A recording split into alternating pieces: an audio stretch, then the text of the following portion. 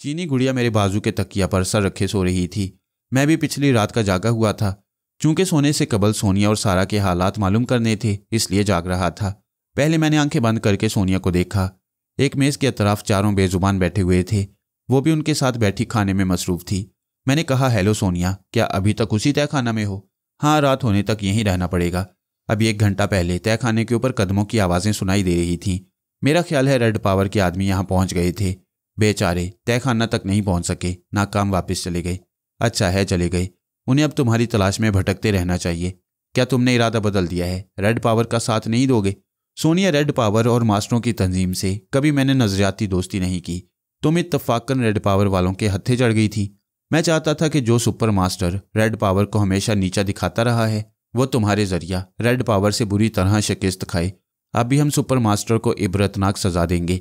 बज़ाहिर तुम red power का साथ दोगी, लेकिन उस तंजीम को भी अंदर से कमज़ोर करती रहोगी, इसलिए कि ये सब तकरीब पसंद तंजीमें हैं। मैं तो वही करती रहूँगी जो तुम कहोगे, लेकिन मुझसे जल्द मिलने की कोई सूरत निकालो। मुझे इस तरह दो तंजीमों का दरमियान ना उलझाओ। मिलने को तो हम आज ही मिल सकती हैं, लेकिन क्या तुम चिंपैंजी, शैला और मैरलिन को रेड पावर के रहमो करम पर छोड़कर भाग आओगी? मैं उन्हें अपने साथ लाऊँगी। अच्छी बात है, एटमी धमाका हो जाने दो। मैं खुद ही तुम्हारे पास पहुंचूँगा। अब तुमने एटमी धमाके की एक पख लगा दी है। ये कब होगा? आज की रात गुजर जाने दो। इन बेजुबानों के लीडर से मुलाकात कर लो। जरा देखो कि ये क्या चाहती हैं। अच्छा एक रात की बात है। सब्र कर लेती हूँ। शाबाश। अब मैं रात को किसी वक्त मुलाकात करूँगा। खुदा हाफिज। मैं उससे रुखसत होकर मेयून के पास चलाया। वो गहरी नींद सो रही थी। मैंने फिर आँखें बंद कर ली। अब मैं सारा उर्फ़ रोमाना को देख रहा था। इस वक्त वह रोमाना के रूप में थी। यही उसका असल रूप था। जब वो स्मगलिंग के लिए अपने बाप के साथ समुंदर के सफ़र पर निकलती, उस वक्त लेडी सारा बन जाती। अब वो रोमाना बनी अपने बाप के कैबन में बैठी रो रही थी। सामने बिस्तर पर उसके बाप समुद्री उकाब की लाश पड़ी थी। स्केपर और जहाज़ के दूसरे बूढ़े उसे तसलियाँ दे रहे थे। मैंने आँख खोलकर घड़ी देखी तो पता चला कि सारा को बहुत देर बाद अपने बाप की मौत का इलम हुआ। मैं आहिस्ता आहिस्ता उसके जहन को कुरीदने लगा। पता चला कि वो सुबह के इंतज़ार में जागते जागते सो गई थी। आँख खुलते ही वह पहले मेरे कैबन में गई। फिर मैं ही उनके कैबन में झाँक कर देखा। हम नज़र नहीं आए तो वो बाप के कैबन में गई। वहाँ रोजो ब्रांडो अब दी सो रहा था। उसने फ़ौरन ही स्केपर और जहाज़ के डॉक्टर वगैरह को कॉल किया।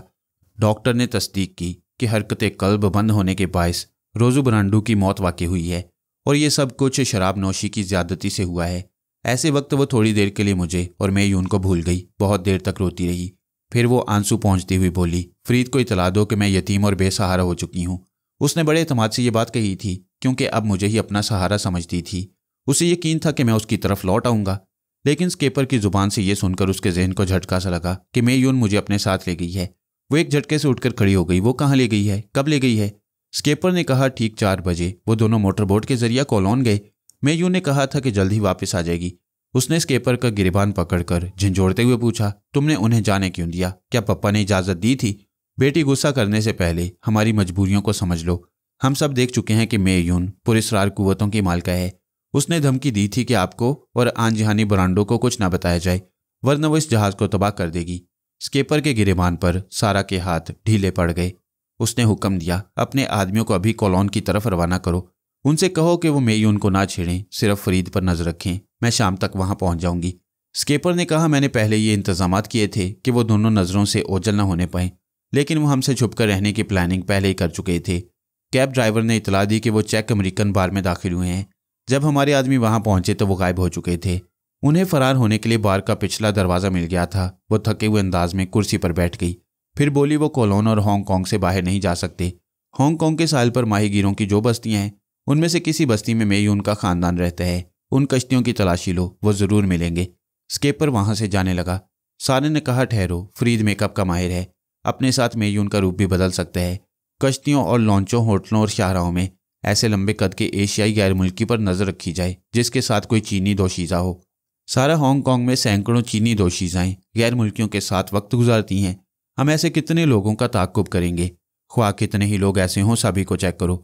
वो यहाँ का कानूनी बाशिंदा नहीं होगा। उसके पास पासपोर्ट नहीं होगा। वो कहीं होटल में पेइंग गेस्ट के तौर पर किसी के यहाँ रहेगा। बहस में वक्त ज़ाया ना करो, जाओ और अकल से काम लो। स्कीपर चला गया। वो दोनों हाथों से सर थाम कर सोचने लगी, ये अचानक क्या हो गया? वो बेचैनी से पहलू बदलती हुई सोचने लगी मेयून पुरस्कार ज़रूर है, लेकिन उसे ढकी छुपी साजिशों का इलम नहीं होता। पप्पा फरीद को हलाक करना चाहते थे, ये बात मेयून को मालूम ना हो सकी।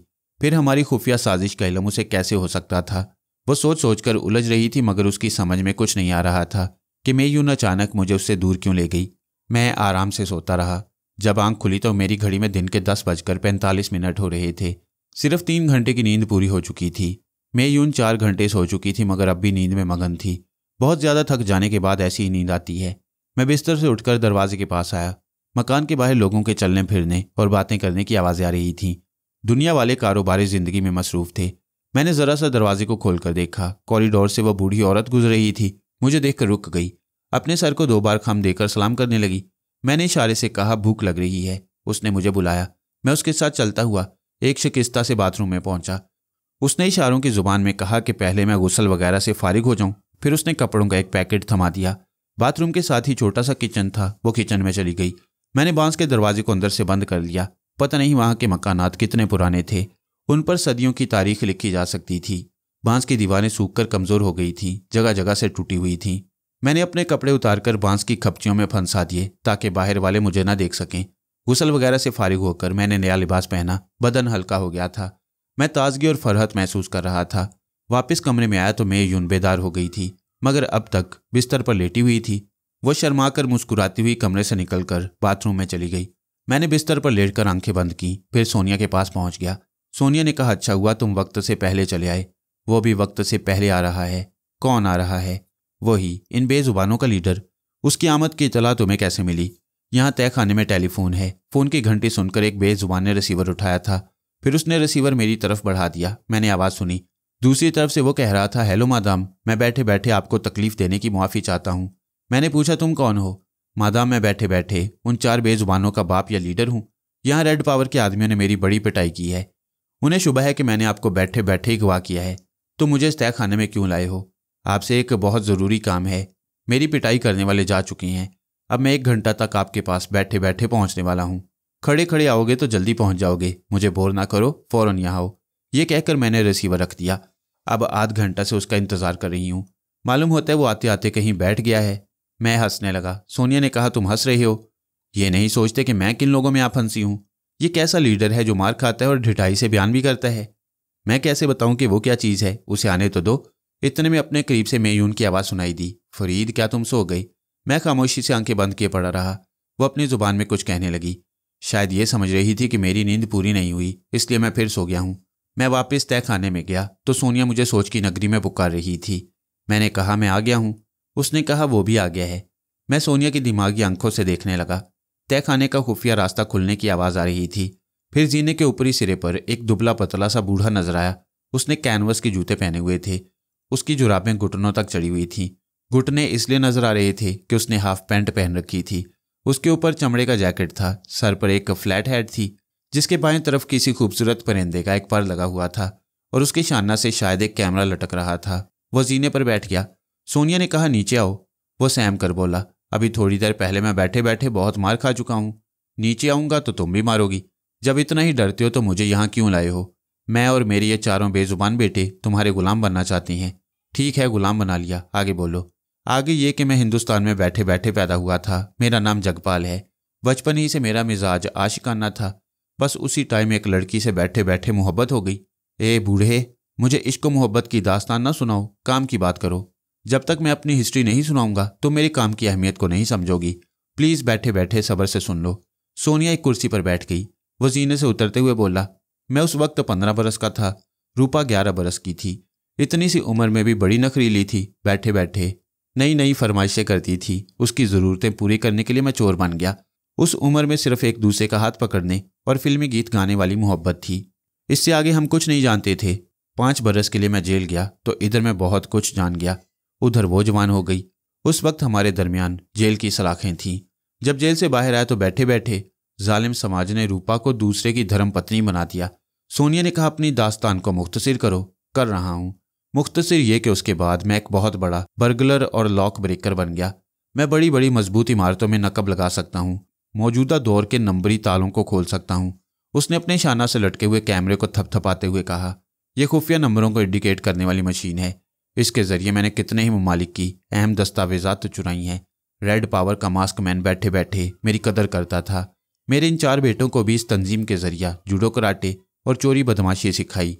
अब हम सब बाप बेटे बैठे बैठे पक्के बदमाश बन गए हैं। सोनिया ने जलकर कहा, बड़ी खुशी हुई। क्या मुझे भी पक्की बदमाश बनाने यहाँ लाए हो? नहीं मादाम, क्यों शर्मिंदा करती हो? तुम तो पहले से पक्की हो। मैंने सोनिया की सोच में कहा, बूढ़े जगपाल ने तुम्हारी सही तारीफ़ की है। यू शटअप वो चीख कर बोली, मुझे यहाँ क्यों लाए हो? मादाम, मैं अभी बताता हूँ। मैं रूपा की जुदाई में छह माह तक बैठे बैठे रोता रहा। फिर मैंने इन बच्चों की माँ से शादी कर ली। यानी वो चार बच्चों की माँ थी, जब तुमने शादी की। नहीं, तुम गलत समझ रही हो। ये चारों मेरा खून है। शादी के बाद पैदा हुए हैं। इनकी जुबानें पैदाइशी तौर पर ऐसी हैं या काट दी गई हैं। अभी बताता हूँ। पहले रूपा की बातें सुन लो। जहन्नू में गई रूपा। तुम्हें शर्म नहीं आती? जवान बेटों की जुबानें कट गईं। तुम्हें इनकी हमदर्दी में कुछ करना चाहिए, मगर तुम मोहब्बत की दास्तान सुना रहे हो। मैं अपने बेटों की हमदर्दी में, उनकी भलाई के लिए रूपा की बात कर रहा हूँ। मगर तुम बैठे बैठे गुस्सा दिखा रही हो। सोनिया उठकर खड़ी हो गई। मैं तुम्हारी बकवास नहीं सुनना चाहती। जवान बेटों ने उसे चारों तरफ़ से घेर लिया। फिर उसके अतराफ आजिजी से हाथ जोड़कर खड़े हो गए। वो बोल नहीं सकते थे, लेकिन उनका आजिजाना अंदाज कह रहा था कि हमारे बाप की बातें सुन लो। सोनिया बोर हो गई थी।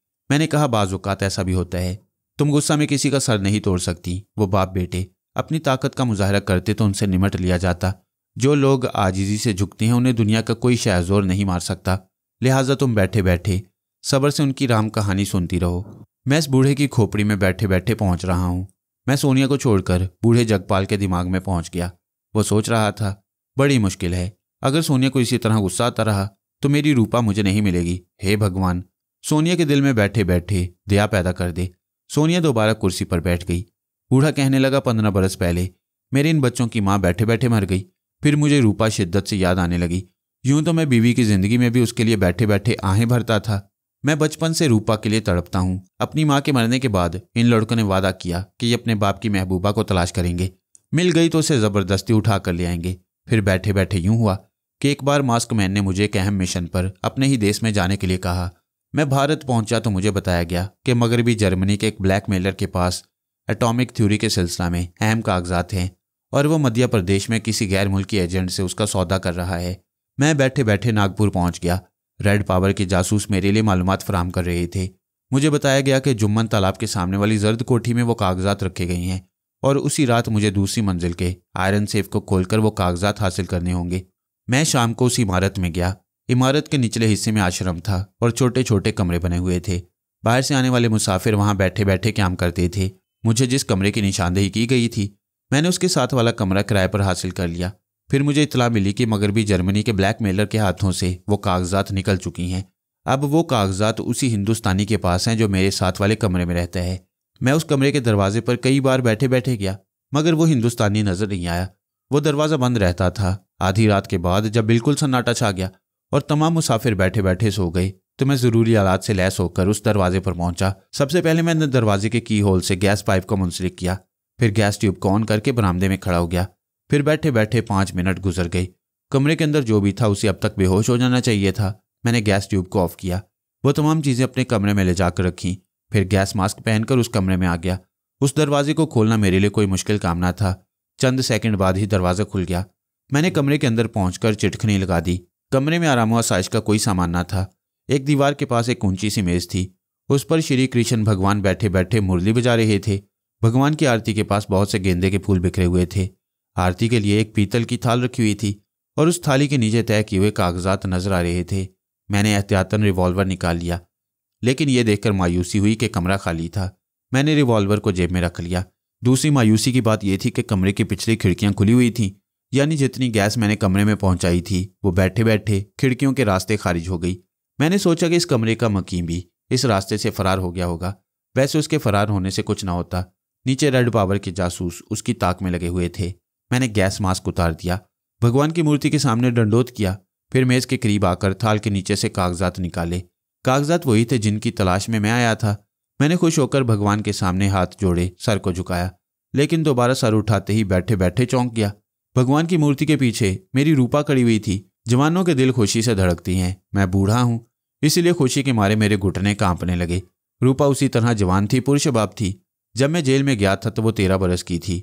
अब सोलह सत्रह बरस की लग रही थी। सोनिया ने पूछा, ए, तुम कैसी बातें कर रहे हो? रूपा उस वक्त तेरह बरस की होगी। अब तो तुम जवान बेटों के बाप हो, बूढ़े हो, उसे भी बूढ़ी हो जाना चाहिए। मादाम, तुम उम्र के हिसाब से ठीक कह रही हो। अब मैं साठ बरस का हूँ, वो मुझसे दो बरस छोटी थी। उसे अट्ठावन बरस की बूढ़ी नज़र आना चाहिए था, मगर वो जवान है और कंवारी है। वो कंवारी कैसे हो सकती है? तुम्हारे बयान के मुताबिक उसकी शादी हो चुकी थी। ये भी दुरुस्त है। मैंने बैठे बैठे मालूम किया था रूपा की शादी हो चुकी थी, उसके कई बेटे पैदा हुए। आखिर में एक बेटी पैदा हुई, उसके बाद रूपा मर गई। उसने मरने के बाद मेरे लिए दूसरा जन्म लिया है। दूसरा जन्म? सोनिया ने हैरानी से पूछा, क्या तुम पागल हो? क्या तुम ये कहना चाहते हो कि इंसान मरने के बाद फिर एक बार ज़िंदा होता है? हाँ उसे आवागौन कहती हैं। हमारे धर्म के सभी लोग इस अकीदे को मानती हैं कि अगर किसी की आत्मा पिछली ज़िंदगी में बैठे बैठे प्यासी रह जाए तो वो अपने प्रेमी से मिलने के लिए दूसरी बार जन्म लेती है। रूपा ने मेरे लिए फिर एक जन्म लिया है। मैंने सोनिया से कहा, सोनिया, इस बूढ़े से बहस ना करो। यह हिंदुओं का अकीदा है कि इंसान मरने के बाद कभी दूसरे रूप में, कभी अपने असल रूप में दोबारा जन्म लेता है। फरहाद, क्या तुम्हें यकीन है कि रूपा मरने के बाद फिर पैदा हो गई है? नहीं। हमारा इस्लामी अकीदा यह है कि इंसान मरने के बाद सिर्फ़ क्यामत के रोज़ उठाया जाएगा, ताकि खुदाए बुज़ुर्गों बरतर के आगे अपने माल का हिसाब दे सके। तुम जगपाल को पागल ना समझो। वो अपने अकीदे के मुताबिक बातें कर रहा है। तो फिर रूपा कौन हो सकती है? मैंने कहा, मेरा ख्याल है कि जिस जवान लड़की को उसने देखा है, वो रूपा की आखिरी बेटी होगी और रूपा की हमशक्ल होगी, उसे आगे कहने दो। शायद मेरी बात की तस्दीक हो जाए। सोनिया ने जगपाल से कहा, मैं तुमसे बहस नहीं करना चाहती। आगे कहो। वो कहने लगा, तकरीबन पैंतालीस बरस के बाद अचानक रूपा को देखकर मैं सारी दुनिया को भूल गया। मैंने खुशी से कांपते हुए कहा, रूपा, तुम यहाँ? वो अपनी बड़ी बड़ी कटोरा जैसी आँखों से मुझे देख रही थी, जैसे मुझे पहचानने की कोशिश कर रही हो। फिर वो बोली, तुम मुझे रूपा क्यों कह रहे हो? क्या मुझे पहचानते हो? हाँ रूपा, मैं तुम्हें इतना पहचानता हूँ कि बैठे बैठे अपने को नहीं पहचान सकता। तुम केशुनाथ की बेटी हो। अब से सत्तावन बरस पहले तुम रायपुर में पैदा हुई थी। हम दोनों बचपन से बैठे बैठे मोहब्बत करते रहे। तेरह बरस की उम्र में तुमने सोने की बाली पहनने की जिद की। मैंने तुम्हारी ख्वाहिश पूरी करने के लिए चोरी की। फिर पकड़ा गया। बैठे बैठे जेल चला गया। पाँच बरस बाद वापस आया तो तुम्हारी शादी हो चुकी थी। वो मेरी बातें बड़े गौर से सुन रही थी। फिर मेरी बात को दोहराने लगी। मैं रायपुर में पैदा हुई। केशवनाथ की बेटियों और तेरह बरस की उम्र में तुमसे बिछड़ गई। हाँ हाँ मुझे याद आ गया। मैं तुम्हें सपनों में देखती रही हूँ। तुम्हारा नाम तुम्हारा नाम। वो याद करने लगी तो मैंने अपना नाम बताया। वो खुश होकर बोली हाँ तुम्हारा नाम जगपाल है। ये नाम मेरे दिल की धड़कने भी पुकारती रहती हैं। तुम कहाँ खो गए थे मेरे बूढ़े प्रेमी? वो मूर्ति के पीछे से मेरे पास आई। मैंने उससे पूछा, तुम जवान कैसे रह गई? वो बोली, तुम विदेशी लोगों में रहकर ये भूल गए हो। कि हमारे देश के प्रेम करने वाले मरने के बाद दूसरा जन्म लेती हैं। मेरी आत्मा तुम्हारे लिए भटक रही थी, इसलिए मैं इस संसार में फिर तुम्हें पाने के लिए आ गई हूँ। मैंने खुश होकर कहा, मैं बैठे बैठे भूल गया था कि प्यार करने वाले दोबारा जन्म लेती हैं। सोनिया ने बेजार होकर कहा, तुम ये दूसरे जन्म की बकवास कब खत्म करोगे? भाई, मुझे यकीन हो गया है कि वो तुम्हारे लिए दोबारा जवान और कमारी लड़की बनकर इस दुनिया में आई है। अब आगे कहो, जगपाल ने शिकायतन कहा, मादाम, इस साइंसी दौर में बैठे बैठे इतना बड़ा वाक्य हो गया। जिस बात को अकल तस्लीम नहीं करती, उसे रूपा ने अपने दूसरे जन्म से साबित कर दिया। मुझे बैठे बैठे दुख पहुँच रहा है क्या आपको हैरानी नहीं हुई। आप मेरी रूपा से दिलचस्पी नहीं ले रही हैं। मैं बाद में दिलचस्पी लूँगी। पहले ये बताओ कि फिर क्या हुआ? फिर रूपा मुझे गौर से देखने लगी। मुझे अपने बुढ़ापे पर शर्म आ रही थी कि वो बैठे बैठे गौर से मेरे चेहरे की झुरियों को ना गिन रही हो। फिर उसने उदास लहजे में कहा, मैं समझी थी कि तुम मुझे तलाश करते हुए यहाँ तक आए हो, मगर तुम्हें तो यह पता ही ना था कि मैंने दोबारा जन्म लिया है। मैं बैठे बैठे शर्मिंदगी से बोला, मुझे नहीं मालूम था कि तुम्हारा प्यार अमर है। अब मैं भी अपने प्यार को अमर बनाऊँगा। आओ, हम ये कागजात लेकर इस देश से बाहर चले जाएँ। वो मेरे हाथों में कागजात को देखते हुए बोली, आह, तुम मेरे महबूब नहीं, एक मुजरिम हो। तुम मेरे लिए नहीं, इन कागजात के लिए आए हो। रूपा, तुम बैठे बैठे मुझे गलत ना समझो। बेशक मैं कागजात के लिए आया था, मगर तुम्हारे सामने इनकी कोई अहमियत नहीं है। तुम इसे वापस ले सकती हो। वो मेरे हाथों से इन कागजात को लेती हुई बोली, मैं नहीं जानती कि ये कैसे कागजात हैं। लेकिन ये अगर खो जाएँगे तो वो मुझे मार डालेगा। कौन? मैंने पूछा। फिर बड़े अजम से कहा, मेरे होते हुए कोई तुम्हें बैठे बैठे नहीं मार सकता। मुझे बताओ वो कौन है? मैं उसे नहीं जानती। हुआ ये कि मैं तुम्हें पाने के लिए बेचैन थी। बचपन से मेरे सपने में एक बूढ़ा आता था। जब मैं जवान हुई तो वो कुछ और बूढ़ा हो गया। बिल्कुल तुम्हारा हम शक्ल था। मुझसे कहता था, रूपा, मुझे याद करो। मैं तुम्हारे लिए चोर बन गया। जेल चला गया। मुझे ना भूलो। आओ, मैं तुम्हारा इंतज़ार कर रहा हूँ। उस बूढ़े की बातें सुनकर मेरा दिल मोहब्बत से भर जाता। इस दुनिया के नौजवान मुझे एक आंक नहीं भाते थे। मैं सोचती थी कि मैं अपने सपनों के बूढ़े राजा से शादी कर लूँगी। फिर एक रात मेरे सपने में उस बूढ़े ने आकर कहा, रूपा, नागपुर के विधवा आश्रम में आ जाओ। तुम्हारे मन की मुराद पूरी होगी। उस सपने के बाद जब मेरी आँखें खुली तो फिर मैं रायपुर में न रह सकी। माँ बाप का घर छोड़कर यहाँ आ गई। इस आश्रम में ये कमरा हासिल किया। भगवान की मूर्ति को यहाँ रखा। फिर दिन रात तुम्हारे मिलने की प्रार्थना करती रही। कल रात जब मैं पूजा कर रही थी तो अचानक कमरे का दरवाज़ा खुला। एक लंबा तिरंगा आदमी हाथ में रिवॉल्वर ले आया। उसने धमकी दी कि मैं शोर मचाऊँगी तो वो मुझे मार डालेगा। मैं तुमसे मिले बगैर मरना नहीं चाहती थी, इसलिए चुप रही। उस आदमी ने कहा, दुश्मन मेरा पीछा कर रही हैं। मैं ये अहम कागजात तुम्हारे पास अमानत रख कर जा रहा हूँ। कल रात को किसी वक्त आकर वापस ले जाऊँगा। ये कहकर उसने कागजात थाल के नीचे रख दिए। फिर खिड़की के पास जाकर बोला दुश्मन मेरी लाश को पा सकती हैं, मगर इन कागजात तक नहीं पहुँच सकते। ये एटॉमिक थ्योरी है। हमारे देश को बहुत ताकतवर बनाएगी। इसकी हिफाजत करना तुम्हारा फ़र्ज़ है। मैं तुम्हारे और भगवान के बीच इन्हें रखकर जा रहा हूँ। अगर ये किसी के हाथ लगेंगे तो मैं तुम्हें शूट कर दूँगा। ये धमकी देखकर वो खिड़की के रास्ते चला गया। अब मैं डर रही हूँ कि क्या करूँ। कल रात से अब तक मैंने कमरे का दरवाज़ा नहीं खोला। दिन के वक्त खिड़की से झाँक कर देखा तो तालाब के पास दो आदमी खड़े हुए थे। एक दूरबीन के ज़रिया मेरी खिड़की की तरफ़ देख रहा था। मैंने फ़ौरन ही दोनों खिड़कियाँ बंद कर दी। अभी तुम्हारे आने से पहले यूँ लगा जैसे कमरे में कोई गैस फैल रही हो। मेरा सर चकराने लगा तो मैंने खिड़कियाँ खोल दी, फिर भगवान की मूर्ति के पीछे आकर बैठ गई। मैंने उसे ढारस दी, घबराओ नहीं। मैं इन कागजात के साथ तुम्हें यहाँ से ऐसी जगह ले जाऊँगा जहाँ तुम्हें कोई नुकसान नहीं पहुँचा सकेगा। वो कागजात को थाल के नीचे रखती हुई बोली, वो लंबा तड़ंगा आदमी, देश सेवक है। हमें भी देश की भलाई के लिए इन कागजात की हिफाजत करनी चाहिए। मैं अपनी रूपा की बात से इनकार नहीं कर सकता था, उसे नाराज़ नहीं कर सकता था, इसलिए मैंने कहा, मैं सिर्फ़ तुम्हें चाहता हूँ। तुम्हारी खातिर अपने बॉस से झूठ बोलूँगा कि कागजात नहीं मिले, लेकिन तुम कब तक इनकी हिफाजत के लिए यहाँ छुपी रहोगी? यही सोचकर मैं परेशान हूँ। आज मेरे मरने की रात है, अगर मैं मर जाऊँगी तो? मैंने हैरानी से पूछा, ये तुम बैठे बैठे क्या कह रही हो? मैं सच कह रही हूँ, आज पूरनमाशी की रात है, इस रात में मर जाया करती हूँ, ठीक तीन बजे। मेरे कानों में घंटियाँ सी बजने लगती हैं। कोई दूर से कहता है, आ जाओ, वापिस आ जाओ। इस संसार में तुम्हारा प्यार तुम्हें नहीं मिलेगा। रूपा, आ जाओ। मैंने बैठे बैठे अपनी रिस्ट वॉच देखी। अभी तीन बजने में पूरे पंद्रह मिनट बाकी थे। मैंने घबरा कर कहा, नहीं रूपा, तुम्हारा प्यार तुम्हें मिल गया है। तुम्हें मौत नहीं आएगी। अगर आएगी भी तो क्या फ़र्क पड़ता है? तुम तो फिर मेरे लिए जन्म ले लेती हो। हाँ पता नहीं क्यों। मेरे साथ ऐसा होता रहता है। मुझे अपना होश नहीं रहता। मुझे लगता है जैसे मैं ख्वाब में चल रही हूँ, फिर चलने का एहसास भी नहीं रहता, शायद मैं मर जाती हूँ। फिर हमेशा यही होता है कि मेरी आँख किसी अस्पताल में खुलती है। उसने सहारे के लिए फिर मेरी गर्दन में बाहें डाल दी, फिर बोली, तुम बूढ़े सही मगर जन्म जन्म के साथी हो। मैं तुम्हें पा लेने के बाद अब थोड़ी देर के लिए भी मरना नहीं चाहती। मुझे अपने बाजू में छुपा लो। आह, ऐसे वक्त शिद्दत से एहसास हुआ कि मेरे बाजू बैठे बैठे बूढ़े हो गई हैं। भगवान ने अजब मज़ाक किया है। मुझे बूढ़ा करके मेरी महबूबा की जवानी लौटा दी। इस दुनिया के किसी आशिक पर ऐसा जुल्म ना हुआ होगा। मैंने उसे अपने बाजू में छुपाना चाहा तो बैठे बैठे खुद मेरी बूढ़ी हड्डियाँ उसके बाजू में चुभ गईं। मोहब्बत की छाव में पता ना चला कि बैठे बैठे किस तरह वक्त गुजर गया। बाहर कहीं तीन का घंटा बज रहा था। इस आवाज़ के साथ कहीं दूर से घंटियों की आवाज़ सुनाई दे रही थी। रूपा अचानक कांपने लगी। लरसती हुई आवाज़ में बोलने लगी, नहीं, मैं अब नहीं मरना चाहती। अचानक वो एक झटके से यूँ अलग हो गई, जैसे नादीदा हाथों ने उसे खींचकर मुझसे जुदा कर दिया हो। कमरे का दरवाज़ा हिल रहा था, झटके खा रहा था। उसकी चिटकनी लरसती हुई बज रही थी। फिर वो नीचे से रख गई। दरवाज़ा खुलता चला गया। इसके साथ ही करीबी मंदिर के घंटे ज़ोर ज़ोर से बजने लगे। खुले हुए दरवाजे के बाहर दो पुजारी धोती पहने खड़े थे। धोती से ऊपर आधा बदन नंगा था। नंगे बदन पर कांधे से कमर तक जीनियों बंधा हुआ था। दोनों के सर मुंडे हुए थे। दोनों के हाथों में पीतल के थाल थे। हर थाल पर एक दिया रोशन था। गेंदे के फूल और सिंदूर की डिबिया थी। मैंने रूपा को देखा तो उसके दीदे फैलकर साकित हो गई वह आहिस्ता आहिस्ता पुजारियों की तरफ़ बढ़ रही थी। दोनों पुजारी पलट कर जा रहे थे। मैंने रूपा के पीछे चलते हुए आवाज़ दी, रुक जाओ, तुम कहाँ जा रही हो? वो खामोश थी, जैसे मेरी आवाज़ उसके कानों तक ना पहुँच रही हो। मैंने दरवाजे के पास पहुंचकर सोचा कि खाली हाथ नहीं जाना चाहिए, इसलिए तेज़ी से पलटकर भगवान की मूर्ति के पास आया। लेकिन अब वहाँ थाल के नीचे कागजात नहीं थे। वो कमरे से आप ही आप गायब नहीं हो सकते थे। शायद उस वक्त जब मैं पुजारियों को देख रहा था तब रूपा ने अपने देश की भलाई के लिए उन कागजात को उठाकर अपने पास रख लिया होगा। मैं फिर भागता हुआ रूपा के पास पहुँच गया। अब दो पुजारियों ने दोनों तरफ़ से उसके हाथों को थाम लिया था। बैठे बैठे उसे जीने से उतार रहे थे। कितने ही घंटों की आवाज़ें रात के सन्नाटे में गूंज रही थीं। शंख बज रहे थे। रूपा को मौत पुकार रही थी।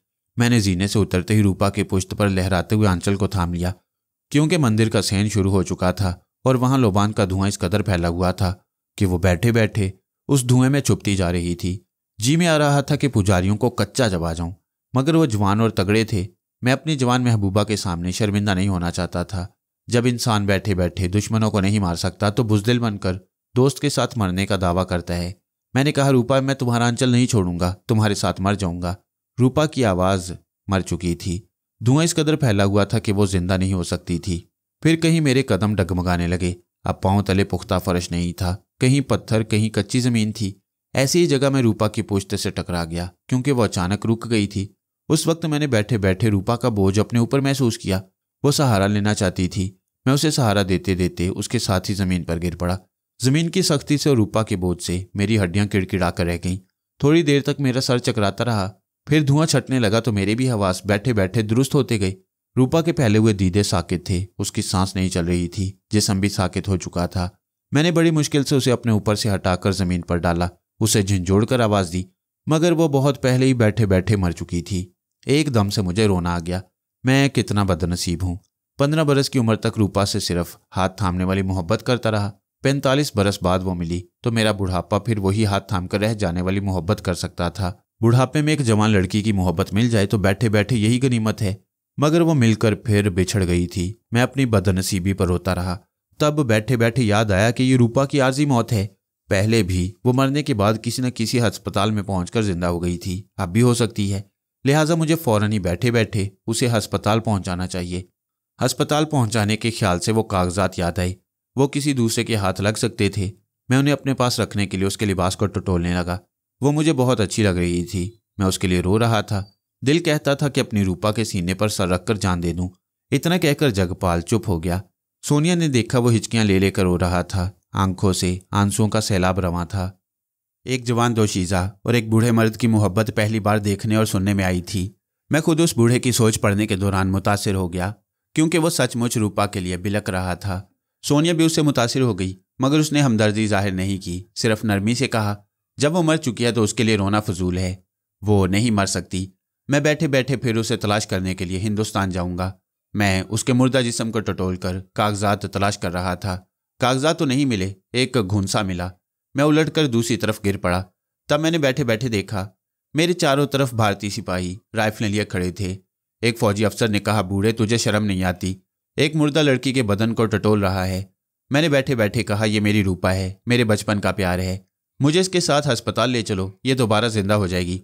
अफसर ने खुश्क लहजा में कहा, हम जानते हैं कि ये ज़िंदा हो जाएगी। तुम भी ये जान लो कि तुम्हारे तमाम साथी गिरफ़्तार हो चुकी हैं। उसके हुक्म से दो सिपाही मुझे पकड़कर वहाँ से ले जाने लगे। मैं चीख रहा था, रूपा को आवाज़ें दे रहा था, मगर दोनों सिपाही बैठे बैठे मुझे तिनके की तरह उठाकर वहाँ से ले गए। आगे जेल खाना की दो गाड़ियाँ खड़ी हुई थीं। एक गाड़ी की जाली से रेड पावर के जासूस झांकते हुए नज़र आए। वाकई मेरे साथी कैद कर लिए गए थे। मुझे दूसरी गाड़ी में बिठाया गया। वहाँ रेड पावर के तीन जासूस कैदी की हैसियत से बैठे हुए थे। फिर दोनों गाड़ियाँ आगे बढ़ने लगी। हमारी गाड़ी पीछे थी। रेड पावर के एक जासूस ने मुझसे पूछा, वो कागजात महफूज है ना? मैंने बैठे बैठे जलकर कहा, मेरी दुनिया लुट गई है, रूपा बिछड़ गई है। हम जेल जा रहे हैं और तुम्हें कागजात की पड़ी है। उसने गुर्राक कर कहा, बकवास मत करो, तुम जेल में नहीं जाओगे। अभी वो कागजात लेकर सीधे रेन बसेरा होटल में जाना।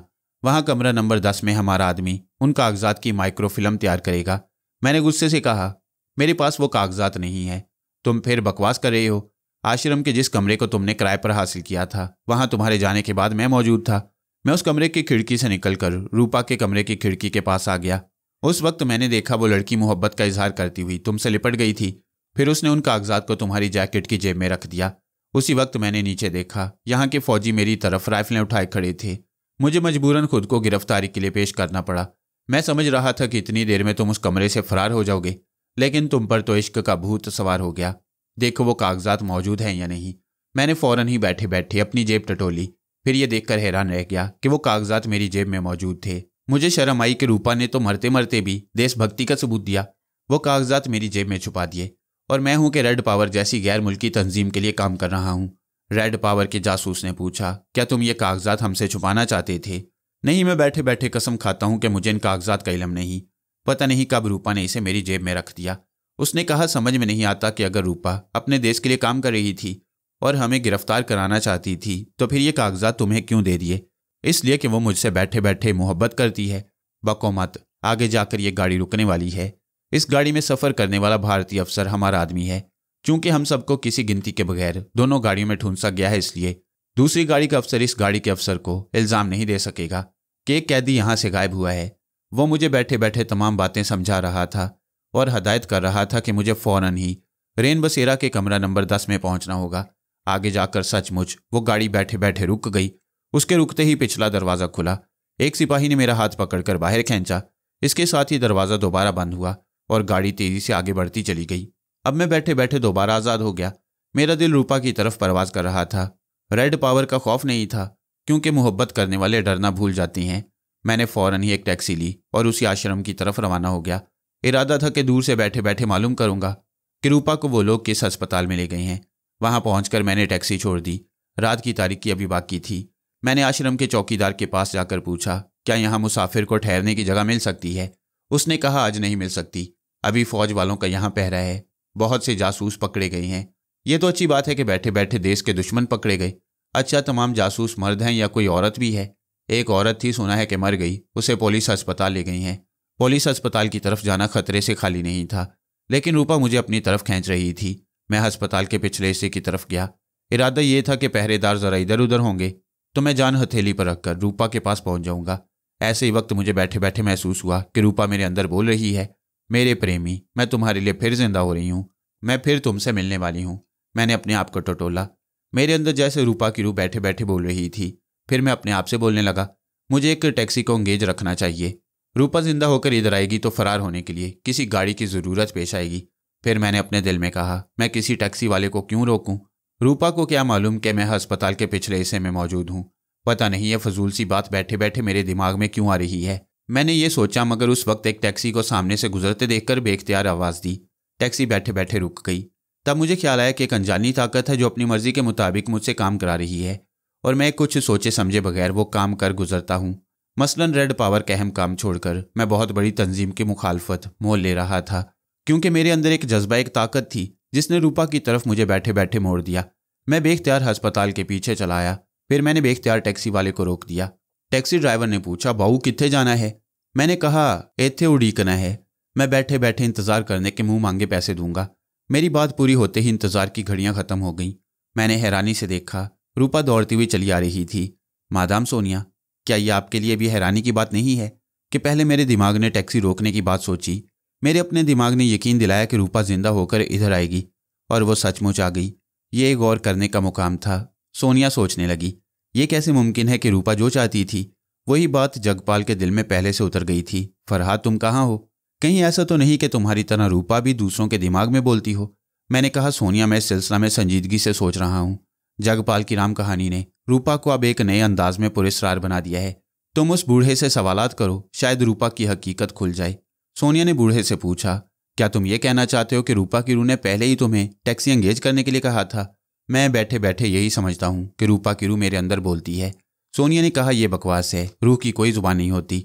अगर मैं तुम्हारे अंदर बोलूँ तो यह टेलीपैथी कहलाएगी।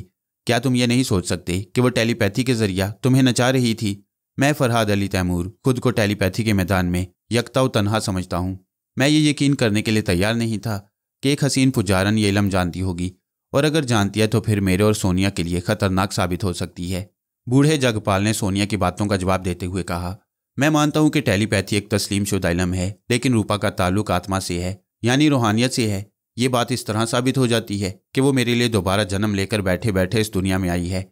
सोनिया ने चिढ़कर कहा, मेरा दिमाग ना खाओ। तुम्हारी दास्तान सुनने के बाद जो बात मेरी समझ में आती है, वो मैं तुम्हें बताती हूँ। ज़रा गौर से सुनो। बूढ़ा गौर से सुनने के लिए जीने पर सीधा होकर बैठ गया। उसके चारों बेजुबान बेटे सोनिया को गहरी तवज्जो से देख रहे थे। सोनिया ने कहा, बूढ़े तोते सुनो, तुमने पंद्रह बरस की उम्र में रूपा से इश्क किया। उस वक्त रूपा तेरह बरस की थी। अब तुम साठ बरस के हो। अगर रूपा ज़िंदा होती तो अट्ठावन बरस की होती। बोलो, दुरुस्त है? बूढ़े ने सर हिलाकर कहा, बैठे बैठे, बिल्कुल दुरुस्त है। सोनिया ने बात आगे बढ़ाई। तुम्हारे बयान के मुताबिक रूपा की शादी किसी दूसरे से हो गई। उसने कई बच्चों को जन्म दिया। आखिर में उसकी एक बेटी पैदा हुई। अगर रूपा पैंतालीस, छत्तीस बरस की उम्र में उस बेटी को जन्म देकर मर गई थी तो अब उस बेटी की उम्र कम अज़ कम बीस बरस होगी। बूढ़े ने आजीजी से कहा, भगवान के लिए उसकी उम्र ज़्यादा ना बताओ। मैंने बैठे बैठे उसे देखा है। उसके लिए शायर ने कहा है कि बरस पंद्रह का या के सोलह का सन। जवानी की रातें मुरादों के दिन। मतलब ये कि वो बैठे बैठे बहुत कम सिन है। चलो कम सिन है। मगर वो अपनी माँ की हमशक्ल हो सकती है। बूढ़े ने इतराफ़ किया हाँ कितनी ही लड़कियाँ अपनी माओ की हमशक्ल होती हैं। सोनिया बोली तो फिर तुम ये क्यों नहीं समझते कि जिस लड़की से तुम मिल चुके हो, वो रूपा नहीं, बल्कि रूपा की बेटी है। तुम साठ बरस में सठे आ गई हो। अपनी महबूबा की बेटी से इश्क कर रही हो। हैं वो बखला गया। ये बैठे बैठे तुम क्या कह रही हो? राम राम, मैं कभी ऐसा सोच भी नहीं सकता। अगर तुम हमारे देश में पैदा होती तो आवागोन के अकीदा को तस्लीम कर देती। फिर तुम्हें यकीन हो जाता कि मोहब्बत करने वालों की रूह पिछले जन्म में प्यासी रह जाए तो वो मोहब्बत की तकमील के लिए दूसरी बार बैठे बैठे जन्म लेती हैं। तुम उसे रूपा की बेटी ना समझो, वो खुद रूपा है। सोनिया ने बेजारी से अपना सर थाम लिया। तब मैंने उसे मुखातिब किया। सोनिया, मैंने तुम्हें पहले ही समझा दिया था कि ये बूढ़े जगपाल का मजहबी अकीदा है। वो रूपा की बेटी को आखिरी दम तक रूपा समझकर इश्क करता रहेगा। वो सोच के ज़रिया गुस्सा में बोली, जहन्नुम में जाइए बूढ़ा। मैं इसके साथ अपना दिमाग खराब नहीं कर सकती। तुम बताओ कि अब मुझे क्या करना है? मेरी जान गुस्सा थूक दो और हँसते मुस्कुराते इसके सामने ये तस्लीम कर लो कि रूपा दूसरा जन्म लेकर और सोलह बरस की कवारी बनकर उससे इश्क करने इस दुनिया में आ गई है। तस्लीम कर लेने से फ़ायदा क्या होगा? अभी फ़ायदे की नहीं, नुकसान की बात सोचो। बूढ़े जगपाल की बातों से यह साबित हो चुका है कि रूपा भी इंसानी दिमागों को पढ़ लेती है। उसने जगपाल से पहली मुलाकात में ये तस्लीम कर लिया कि वो उसकी महबूबा रूपा है। यकीनन उसने जगपाल की सोच को पढ़ लिया था। फिर ये कि अस्पताल के बाहर जगपाल खड़ा हुआ सोच रहा था। किसी तरह पहरेदारों की आँख बचाकर वो रूपा को देखने जाएगा कि वो ज़िंदा हो चुकी है या अब तक मुर्दा है। ऐसे ही वक्त जगपाल के दिमाग में ये बात आई कि रूपा अस्पताल से फरार होकर आएगी। लिहाजा एक टैक्सी को अंगेज रखना चाहिए। फिर यही हुआ कि जगपाल ने एक टैक्सी को रोका और रूपा अस्पताल से फरार होकर वहाँ पहुँच गई। इन वाक्यात से दो बातें साबित होती हैं। एक तो ये कि रूपा मेरी तरह दूसरों के दिमागों को कंट्रोल करना जानती है दूसरी बात यह कि वो हब से दम की माहिर है। पुलिस वालों ने उसे मुर्दा समझकर डॉक्टरों से तस्दीक के लिए अस्पताल पहुँचाया। वहाँ से वो अपनी सांसों को इतदाल पर लाकर फरार हो गई। सोनिया ने एतराफ़ किया। मैं बूढ़े की बकवास में उलझ गई थी, इसलिए इन वाक्यात का सही तजिया ना कर सकी। ये बात बाईस तशवीश है कि वो सिर्फ़ टेलीपैथी ही नहीं, बल्कि हब से दम की माहिर भी है। हाँ सोनिया, रूपा हमारे लिए बहुत बड़ा खतरा बन सकती है। वो दो बड़ी तंजीमों में से किसी एक के हत्थे भी चढ़ेगी तो अंजाम कार हमारे मुकाबले पर खड़ी हो जाएगी। मुकाबला तो खैर मैंने मास्टर यूशे जैसे टेलीपैथी जानने वाले से भी किया है। जब ऐसा वक्त आएगा तो हार जीत का फैसला भी जल्दी हो जाएगा। परेशानी की बात यह है कि जल्द या बदेर रूपा को यह हकीकत मालूम हो जाएगी कि तुम टेलीपैथी नहीं जानती हो। तुम्हारे दिमाग के पीछे फरहाद बोल रहा है। माई गुडनस, ये तो वाकई परेशानी की बात है। हमें सबसे पहले उसी से निपटना होगा। क्यों ख्वाम खा उसे गाली दे रही हो? हाँ तुम्हें तो बुरा लगेगा। सुन लिया ना कि वो कवारी है, सोलह बरस की है।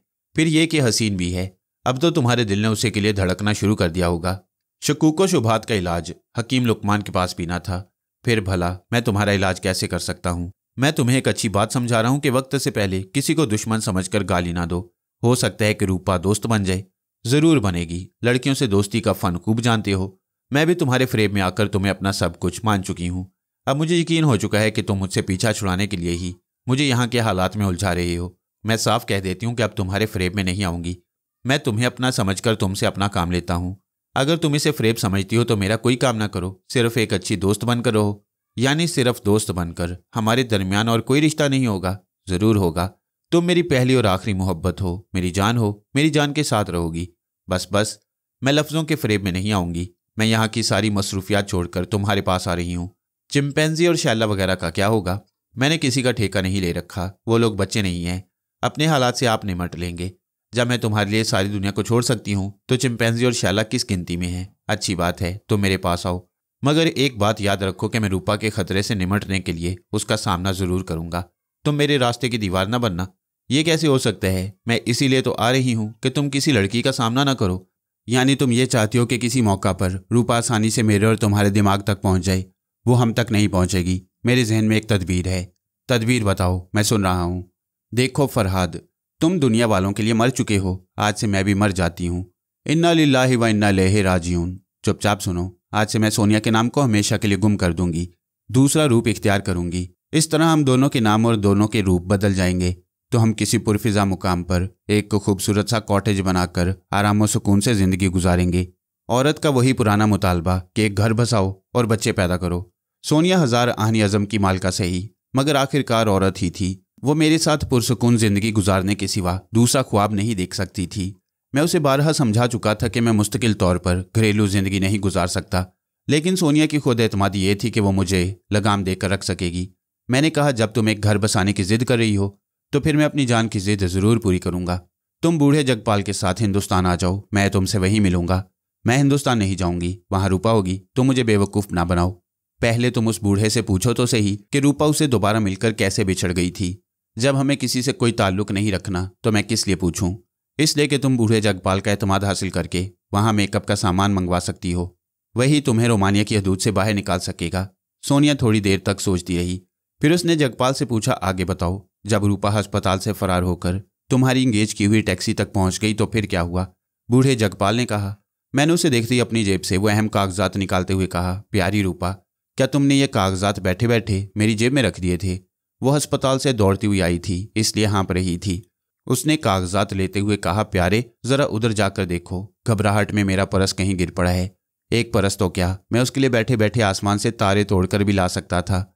मैं भागता हुआ उधर गया, जिधर से वो आई थी। परस कहीं नज़र नहीं आ रहा था। मैं रूपा को यह सोचने का मौका नहीं देना चाहता था कि बुढ़ापे के बायस मेरी बहनाई कमज़ोर हो चुकी है। इसलिए मैं परस को तलाश करता हुआ दूर निकल गया। तब रात के सन्नाटे में टैक्सी के स्टार्ट होने की आवाज़ सुनाई दी। मैंने पलट कर देखा, टैक्सी तेज रफ्तारी से भाग रही थी। मैं दौड़ता हुआ चीखने लगा, ठहरो, रुक जाओ। रूपा टैक्सी वाले को बैठे बैठे रोक दो। लेकिन वो पहले तो मेरी आवाज़ से दूर चली गई, फिर नज़रों से भी ओझल हो गई। अफसोस, मुझे पहले ही समझ लेना चाहिए था कि टैक्सी वाले बदमाश होते हैं। वो बदमाश मेरी महबूबा को लेकर फरार हो गया। सोनिया ने कहा, तुम्हें कब अकल आएगी? तुम ये क्यों नहीं समझते कि रूपा तुम्हें बेवकूफ़ बनाकर भाग गई है? उसने तुम्हें धोखा दिया है? नहीं। जो लड़की मेरे लिए दूसरी बार दुनिया में आई है, वो मुझे धोखा नहीं दे सकती। सोनिया ने हार मानकर कहा अच्छा वो सच्ची मैं झूठी, अपनी कहानी जल्द खत्म करो। वो एक सर्द आह भर कर बोला, कहानी तो खत्म ही समझो। जब मैं रूपा को तलाश करते हुए सड़क की तरफ़ आया तो रेड पावर के आदमियों ने मुझे पकड़ लिया और वो कागजात तलब करने लगे। मैंने बैठे बैठे बहाना किया कि किसी ने मेरी जेब पर हाथ की सफ़ाई दिखाई है, लेकिन उन्होंने मेरी बातों का यकीन नहीं किया। मुझे एक तहखाना में ले जाकर मेरी खूब पिटाई की। दूसरे दिन के अखबार से उन्हें पता चला कि जिस रूपा को मुर्दा समझा गया था वह अस्पताल से फरार हो गई है। तब रेड पावर वालों का शुभा यकीन में बदल गया कि मैं रूपा का साथ दे रहा हूँ। दो रोज बाद मास्क मैन की तरफ़ से मुझे एक पार्सल मिला। मैंने उसे खोलकर देखा। उस डब्बे में दो कटी हुई जुबानें थीं और कागज़ के एक पुर्जे पर लिखा हुआ था, जगपाल, ये तुम्हारे दो बेटों की जुबानें हैं। मैं गद्दारी की बहुत ही बरतनाक सजा देता हूँ। अगर अब भी तुमने वो कागजात हमारे हवाले ना किए और रूपा का पता ना बताया तो तुम्हारे बाकी दो बेटों की जुबानें भी काट ली जाएँगी। मैं उस पार्सल को कलेजे से लगा कर रोने लगा, कस्में खाने लगा कि कागजात मेरे पास नहीं हैं। और मैं रूपा का पता बैठे बैठे नहीं जानता हूँ। किस्सा मुख्तसर जब मुझे रोमानिया पहुँचाया गया तो मेरे बाकी दो बेटे भी बेजुबान हो चुके थे। तब मेरे दिलो दिमाग में इंतकाम की आग भड़कने लगी। रूपा की जुदाई और बेटों की बेजुबानी दोनों ने मुझे और ज़्यादा बूढ़ा बना दिया। मास्कमैन ने हमें अपनी तंजीम से निकाल दिया, लेकिन ये पाबंदी भी आयद कर दी कि हम रोमानिया से बाहर नहीं जा सकते। हम बाप बेटों ने चुपके चुपके एक ऐसे शख्स से दोस्ती की जो इस तय खाने वाली इमारत का मालिक था। उसने मुझसे वादा किया कि अगर मैं बैठे बैठे उसके काम आऊँगा तो वो भी बैठे बैठे मेरे काम आएगा। उसका सहारा पाकर मेरे चारों बेटे इस तय खाने में आकर छुप गए।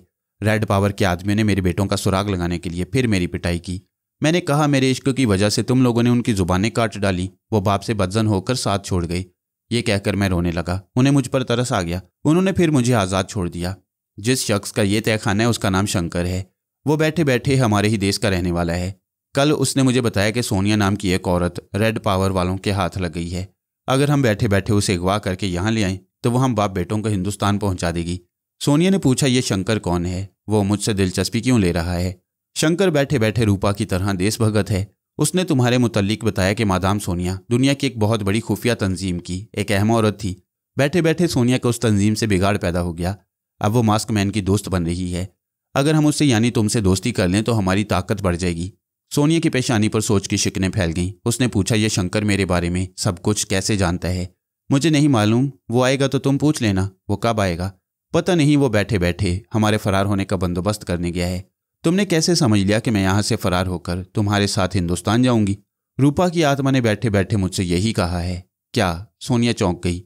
ये बात मेरे लिए भी चौंकाने वाली थी। सोनिया ने मेरी सोच के मुताबिक पूछा, क्या रूपा की आत्मा ने तुमसे रबता कायम किया था? पता नहीं, उसे रबता कहते हैं या नहीं? कल रात में शंकर की इस बात पर बैठे बैठे गौर कर रहा था कि रेड पावर के पंजे से तुम्हें कैसे निकाल कर लाया जा सकता है। ये तो बहुत ही खतरनाक काम होगा। जरा भी भूल चूक होती तो मास्क मैन मुझे ज़िंदा नहीं छोड़ेगा। तब बैठे बैठे मेरी आँख लग गई। मैंने सपने में देखा रूपा मुझे पुकार रही थी। मुझसे कह रही थी, प्यारे जगपाल, मैं बड़ी अभागन हूँ। तुमसे मिलकर फिर बिछड़ गई। वो बदमाश टैक्सी ड्राइवर मुझे भगा कर ले गया। लेकिन मेरा प्रेम सच्चा है। मैं उसके पंजे से निकल आई हूँ और अब कई माह से तुम्हारा इंतज़ार कर रही हूँ। मैं सपने में बैठे बैठे उसकी तरफ़ बढ़ने लगा। वो पीछे जाती हुई बोलने लगी, मुझे सपनों में पाकर क्या करोगे? अगर सचमुच पाना चाहते हो तो फ़ौरन शंकर की बातों पर अमल करो। सोनिया को अगवा करके शंकर के हवाले कर दो। उसके बदले वो तुम्हें मेरे पास पहुँचा देगा। रूपा की बातें सुनकर बैठे बैठे मेरी आँख खुल गई। अब तुम देख रही हो कि रूपा तक पहुँचने के लिए मेरे चारों बेटे तुम्हें किस तरह यहाँ ले आए हैं। अब मैं तुमसे इल्तजा करता हूँ कि तुम बैठे बैठे शंकर की दोस्त बन जाओ। प्लीज़ वो मुझे रूपा के पास पहुँचा देगा। जगपाल की बातें सुनकर सोनिया ने मुझसे कहा, फरहाद, इस बूढ़े की बातों से तो यही ज़ाहिर हो रहा है कि ये सारा खेल रूपा खेल रही है। मैंने कहा, बेशक यही बात है, रूपा और शंकर तुम्हारी ज़ात से दिलचस्पी ले रही हैं। सोनिया ने पूछा, अगर रूपा टेलीपैथी जानती है तो उसने मुझसे दिमागी रबता क्यों नहीं कायम किया? इसकी वजह यही हो सकती है कि रूपा ने तुम्हें अभी तक नहीं देखा है और ना ही तुम्हारी आवाज़ सुनी है। नहीं फरहाद, तुम भूल रहे हो। रूपा जब बूढ़े जगपाल से दिमागी रबता कायम कर सकती है तो इस वक्त उस बूढ़े के दिमाग में मौजूद रहकर मेरी सोच को अपनी गिरफ्त में ले सकती है। फिर वो ऐसा क्यों नहीं कर रही? सोनिया दुरुस्त कह रही थी। उस वक्त रूपा बड़ी आसानी से जगपाल के ज़रिया सोनिया के दिमाग तक पहुँच सकती थी। मैं सोच के ज़रिया सोनिया से गुफ्तगू कर रहा था। इस तरह रूपा मेरी सोच तक भी पहुँच सकती थी। फिर वो ऐसा क्यों नहीं कर रही थी? खामोश क्यों थी? सोनिया ने मुझे पुकारा, फरहाद, क्या तुम चले गए हो? नहीं, मैं तुम्हारे पास मौजूद हूँ। सोच रहा हूँ कि ये रूपा आखिर क्या बला है? शुक्र है कि तुमने पहली बार किसी लड़की को बला कहा है। मैं ऐसी ही बलाओं से तुम्हें बचाना चाहती हूँ। क्या ये मुनासिब नहीं होगा कि शंकर के यहाँ आने से पहले मैं फरार हो जाऊँ? सोनिया वहाँ से फरार होकर कहाँ जा सकती थी? ज़्यादा से ज़्यादा फिर मास्क मैन की पनाह में पहुँच सकती थी। मैं इस कश्मकश में मुबतला हो गया कि रूपा की असलियत मालूम करूँ या उससे दूर रहने के लिए सोनिया को मास्क मैन तक पहुँचा दूँ। सोनिया ने कहा, फरहाद, मैं अच्छी तरह जानती हूँ। तुम रूपा तक पहुँचने के लिए मुझे यहाँ से फरार होने का मशवरा नहीं दोगे, लेकिन मैं अब यहाँ से ज़रूर जाऊँगी। मेरे दिमाग में एक तदबीर आई कि सोनिया की तसल्ली के लिए उसे फरार होने का मशवरा दूँ, और जब शंकर वहाँ आए तो मैं जगपाल के ज़रिए उसके दिमाग तक पहुँच जाऊँ। इस तरह शंकर के दिमाग में रहकर मैं रूपा की असलियत मालूम कर सकता था। ये सोचकर मैं सोनिया को फरार होने का मशवरा देना चाहता था, लेकिन उस जिद्दी औरत ने पहले ही इस पर अमल शुरू कर दिया। वो अचानक ही चारों बेजुबानों की भीड़ से निकलती हुई जीने पर पहुँची। जगपाल उठकर खड़ा हो गया, अरे, सुनो तो सही, तुम बैठे बैठे कहाँ जा रही हो? वो चारों बेजुबान दौड़ते हुए उसकी तरफ़ आ रहे थे। उसने बूढ़े को अपनी तरफ़ खींचकर उसके बेटों की तरफ़ फेंक दिया। जितनी देर में वो चारों अपने बाप को संभालते उतनी देर में वो जीने की बुलंदी पर पहुंचकर एक आनी किल को घुमा चुकी थी। इसके साथ ही बाहर जाने के लिए रास्ता खुलता जा रहा था। सोनिया ने जीने की आखिरी बुलंदी पर पहुंचकर अपने सर को उभारा तो इमारत का एक बड़ा सा कमरा नज़र आया। एन निगाहों के सामने कोई मौजूद था, इससे पहले कि वो संभलती। उसके मुँह पर एक ज़बरदस्त हाथ पड़ा, वो उलटकर जीने पर गिरी। पथरीले जीने पर लुढ़कने के बाद उसकी हड्डी पसली एक हो जाती, लेकिन तकदीर अच्छी थी। उसके पीछे आने वाले दो बेजुबानों ने उसे लुढ़कने से बचा लिया। अब वो उनके बाजू में आराम फरमा रही थी। मैंने कहा, सोनिया, जल्दबाजी अच्छी नहीं होती। बहरहाल, अब देखो कि किसने तुम पर हाथ उठाया है। वह झुंझलाकर बेजुबानों के बाजुओं से आज़ाद हो गई।